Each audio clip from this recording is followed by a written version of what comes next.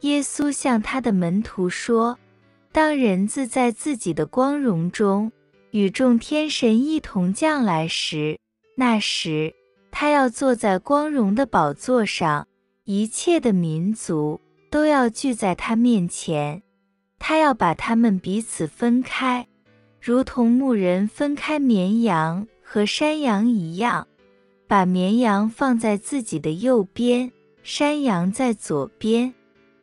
那时，君王要对那些在他右边的说：“我父所祝福的，你们来吧，承受自创世以来给你们预备了的国度吧。因为我饿了，你们给了我吃的；我渴了，你们给了我喝的；我做客，你们收留了我；我赤身露体，你们给了我穿的。”我患病，你们看顾了我；我在监里，你们来探望了我。那时，一人回答他说：“主啊，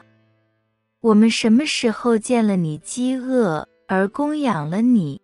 或口渴而给了你喝的？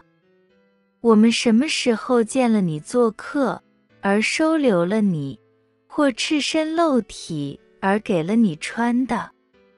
我们什么时候见你患病，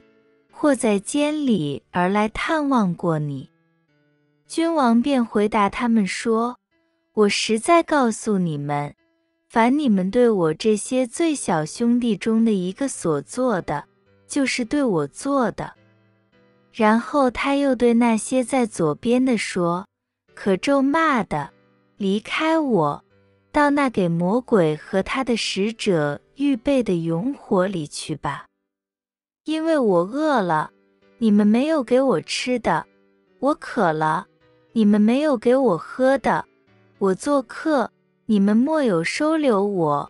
我赤身露体，你们没有给我穿的；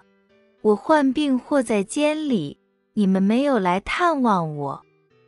那时，他们也要回答说。主啊，